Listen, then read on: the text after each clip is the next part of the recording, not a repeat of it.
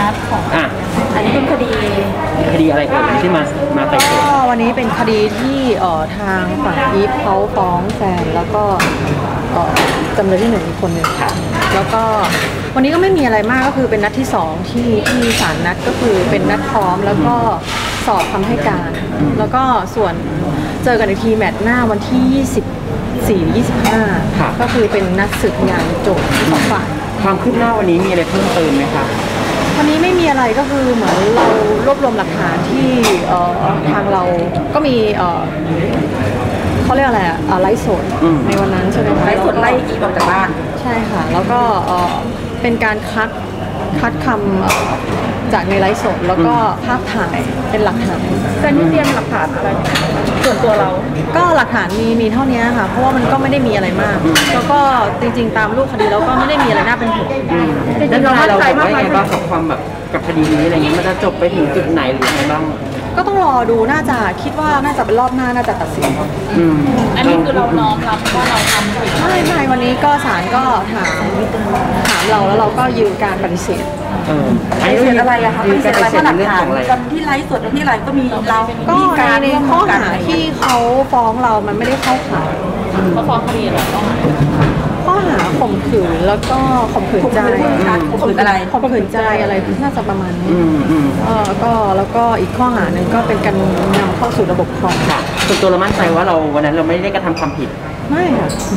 แล้วจำเลยที่หนึ่งเหรอคะพี่การนะคะได้เจออักันไหมนี้เจอกันค่ะไม่ทราบเลยได้มีการพูดคุยอะไรกันไหมกับพี่การเมื่อกี้ไม่ไม่ค่ะเออเป็นการเจอกันในรอบ ตั้งแต่ อันนี้เป็นเจอกันเป็นการเจอกันในรอบกี่เดือนคะหลายเดือนแล้วค่ะอืมยังพูดคุยกันดีปกติไหมคะตอนนี้หรือยังไงยังมีปัญหากันอยู่ค่ะไม่ไม่ได้พูดคุยอะไรกันอันนี้ไม่ได้คุยกับพี่การนานเลยยังนานแล้วค่ะ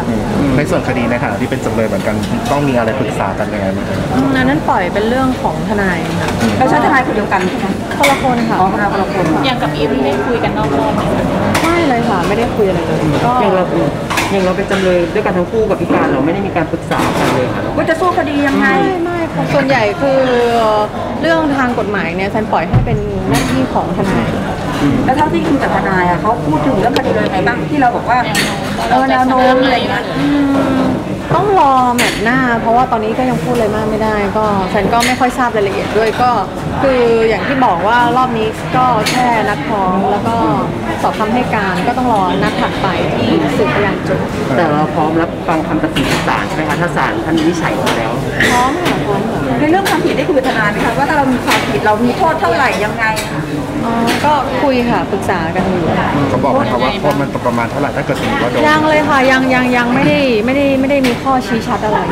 ต้องรออย่างที่บอกว่าต้องรอรอบหน้ามีความกังวลเรื่องอะไรไหมครับเช่นเรื่องการเรียกร้องค่าเสียหายหรืออะไรไม่ค่ะไม่เลยไม่เลยเรื่องคดีเรามั่นใจว่าว่ามั่นใจว่าเราไม่มีความผิดหรอก็ต้องรอดูแมตช์หน้าแหละอืมไม่มีการไกล่เกลี่ยอะไรอยู่แล้วใช่ไหมคะอีฟไกลเกลี่ยกันไปแล้วรอบแรกเลยไม่เป็นผลค่ะฝั่งเขาคือยืนการยังไงบ้างว่าจะยังไงก็ดำเนินคดีหรือว่ายังไงไม่ทราบเลยนะ เพราะว่าวันนี้เขาก็ไม่ได้มาต้องต้องถามฟังทางฝั่งเขาดูค่ะ อืมถามกับกรณีพิการค่ะที่มีปัญหากันอย่างตอนนี้ได้คุยอะไรกันที่ไม่ไม่ไม่ได้คุยอะไรกันเลยค่ะจะมีคดีอะไรกับพี่การเพิ่มเติมที่ไหมเราคะฟ้องไปล่าสุดตอนนี้ยังไม่มีค่ะคนมองว่าก่อนหน้านี้เออดีกันแหละไปร่วมมือกันไล่เขาออกจากบ้านตอนนี้ก็การนั้นมาไม่ถือแล้วแต่พอกันแล้วก็คือในในในส่วนของแซนนี่คือแซนก็ไม่ได้มีปัญหาอะไรแล้วก็ใช้ชีวิตปกติอืมแต่กับพี่การนี่ตอนนี้ยังไงคะแซนแบบ ก็ปกติค่ะแซนไม่ได้มีปัญหาอะไรเลยกลับมาดีกันจะตีกันตลอดไปไม่ว่าแบบหรือว่ายุเลิกยุ่งไปเลยไหมไม่ใช่ก็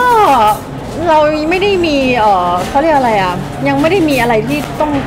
เอ่อร่วมกันเออหรือเกี่ยวพันกันนะคะก็ใช้ชีวิตตามปกติเหมือนที่เคยใช้มานั่นแหละแต่ถ้าเป็นไปได้ไม่ยุ่งกับเขาดีกว่าไหม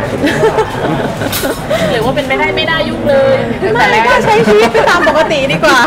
เออใช่ไหมเพราะว่าจริงๆแล้ วทุกวันนี้คือมีอะไรหลาย ๆ อย่างที่ต้องคิดต้องทำอะมากกว่าเรื่องตรงเนี้ย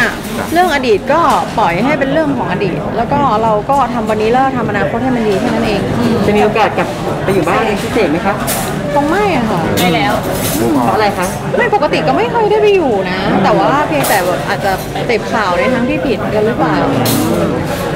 ก็ไม่เคยไปอยู่อยู่บ้านตัวเองอยู่แล้วโอเคเนาะโอเคอีกอีกของเราคดีนะคดีเดียวคดีเดียวคดีที่ข่มขืนใจของเขาอะไรนะคะเราเป็นของอีกคนนึงใช่ไหมอีกจำเลยหนึงใช่ใช่ใช่เราโดนแค่คดีเดียวนะคดีเดียวโอเคแล้วก็มี